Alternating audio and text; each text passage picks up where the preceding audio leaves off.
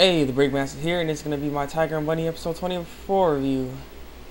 Uh, something really sad happens in this episode. I'm hoping, I'm hoping it's not true, but it's the way it's playing out. It, uh, looks like it. But yes, this is a great episode. It's a great episode. Um, yeah. So basically, this episode starts off with uh Tiger and Barnaby, um, you know, gearing up trying to fight this dude, but apparently the, their powers can't activate yet. So they have to run around like chickens and, wait wait for the powers to turn back on or defeat this dude. So they're they're having a lot of a lot of struggle time, struggling times to fight this dude. But one thing I noticed out of this whole thing though, while they're fighting and all that stuff, oh my god, the animation is just it was so beautiful in this episode. Oh my god, it was it's it, I would watch this again just look at the, the animation was just was amazing. I, don't. I mean, that's that's wow. I, I, I, was, I just love the animation in this episode. It was it was really well done. Like it was just you got you got to see to believe what I'm saying. It's it's probably the best animation I've seen in anime. That was oh in some anime, just in a fight scene anime. It looks just so nice. God, but yeah, they were fighting and stuff and like that. And so um the other heroes had to make make a decision. They're all like you know passionate like oh who's gonna press the button and you get all nervous and stuff and uh that Roland do Ro Ro Roland or whatever his name is, um, is trying to get them to turn out turn against each other. So he's making to where some people say certain things like like uh Sky High. He's like, man, I don't know, I might need to press this button because I mean I'm the only one that could, if if it would be, it'd be stupid if every superhero superhero dies. Like at least if I can survive, I can do something and stuff. And then Rock Bison was getting all nervous about wanting, wanting to press the button, but then he's like, no, he's like, no, no nah. he did like three times and crap. And then, you know, Blue Rose had to make a, a, exceptional speech to get the heroes to be like, trusting Tiger and Barnaby, they can do this. They can save these heroes.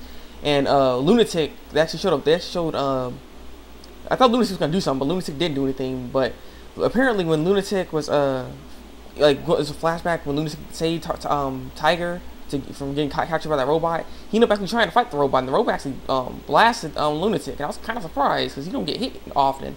So he's I was like kind of surprised when, when he got hit like that.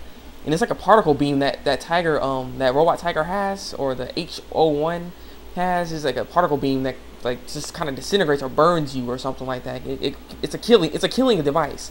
So yeah, he knows about this device and he's wondering if you know he's wondering who the heck's doing all this. Uh, he's really thinking about this and basically Mr. Maverick was just trying to tell everyone that uh, the heroes are in this um fighting this terrorist threat and it's really really tough so they don't and you know you gotta trust in the heroes that they'll, that they'll save this but but his whole plan is he's gonna wipe out all the heroes so the robot can you know then take over for, for Hero TV and stuff like that so he's gonna basically say that uh, the heroes died in action and stuff like that and it's like he just wow it's just he's just really trying to use a stupid robot so Tiger Bunny actually ended up getting their, their powers back, and then they started actually doing something. They actually did go, good luck mode, their combination good luck mode, where they kick and he punches, and they actually hit him. And I was like, oh snap, they, they actually defeated it.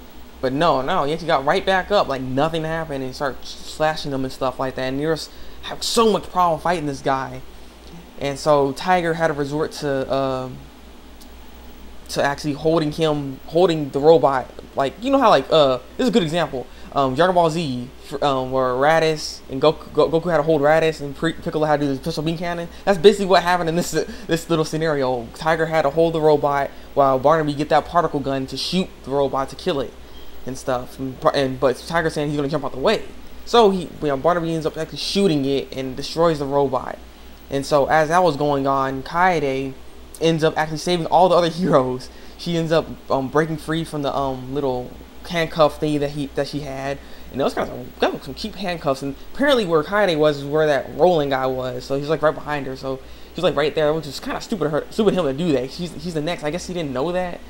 So I mean, I don't know. So he ended up, she ended up breaking free, ends up freezing the guy that was supposed to be um, like you know, guarding her, so she won't do anything stupid. Which they didn't really do anything. And then she he, she ends up doing Kamehameha wave, um, ice ice like you know freezing the dude, freezing Roland dude up, and then ends up freezing all, freeing all the heroes, and so all the heroes are out. Kaede's free, and everything looks good and all right. Tiger. Tiger didn't. Tiger ran out of power at the wrong moment. Right when he was holding onto that robot, he ran. He ran out of power. He couldn't dodge it.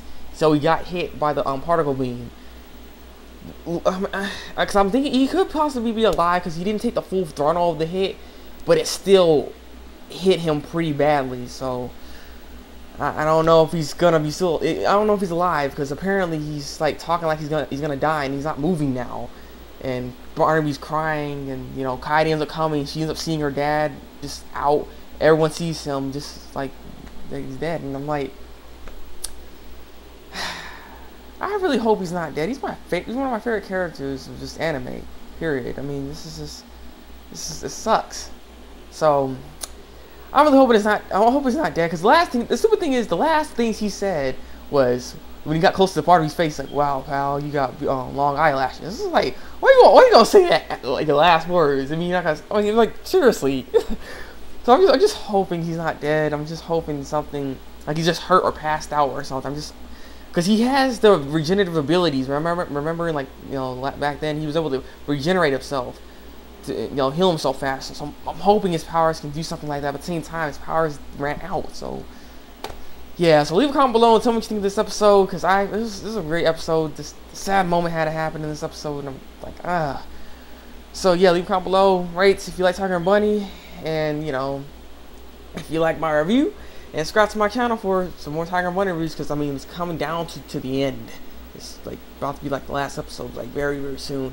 So yeah, it's been the Break Master, and until then, break out.